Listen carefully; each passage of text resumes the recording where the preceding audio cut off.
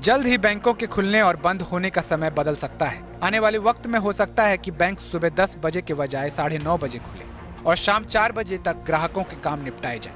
अगर ऐसा होता है तो बैंक कर्मचारी हफ़्ते में सिर्फ़ पाँच दिन काम करेंगे। हर शनिवार और रविवार को बैंक बंद रहेंगे। इस बारे में एक प्रस्ताव पर गंभीरता से विचार हो रहा है। बैंकों के संस्थान इंडियन बैंक एसोसिएशन, आईबीए और बैंक यूनियन के बीच पहले दौर की बातचीत हो चुकी है। इस महीने दूसरे दौर की बातचीत के बाद अंतिम फैसला होने की संभावना है।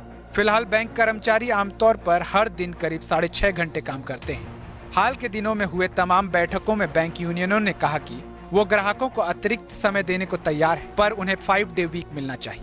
अभी रविवार के अलावा बैंकों में हर दूसरे और चौथे शनिवार को छुट्टी रहती है। सरकार का मानना है कि बैंक के पास ग्राहकों की संख्या लगातार बढ़ रही है। ऐसे में बैंकों को ज़्यादा समय मिलना चाहिए। Bureau report APN